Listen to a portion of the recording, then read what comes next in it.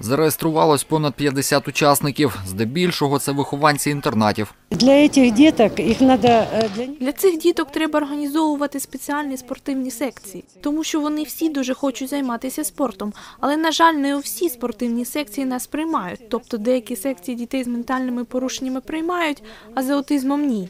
Але це також діти. Вони хочуть займатися спортом, вони хочуть розвиватися, і як ви бачите, вони можуть. Загалом громадська організація Усмішка дитини опікується понад 200 сім'ями, які виховують дітей з ментальною інвалідністю.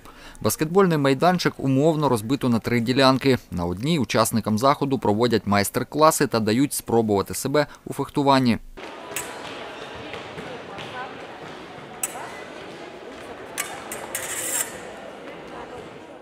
На другій охочі виконують різні легкоатлетичні вправи.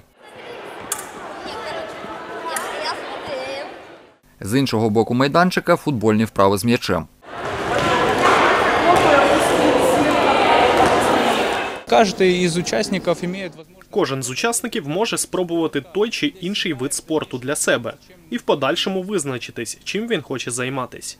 Це вихованці інтернатів для дітей з ментальними особливостями. Це інтернат номер 3 та номер 2 За віком це діти з 2 по 6 класи.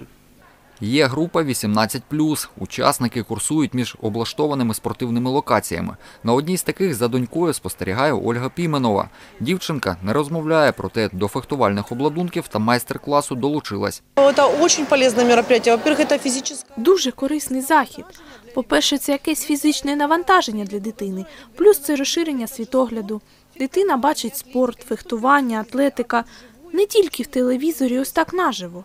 Це дуже цікаво. Дуже хочеться, щоб в місті проводилось побільше спартакіад для таких діток. Для таких сімей це було б дуже цікаво. Олександр Гордієнко, Василь Філімон. Новини на Суспільному. Миколаїв.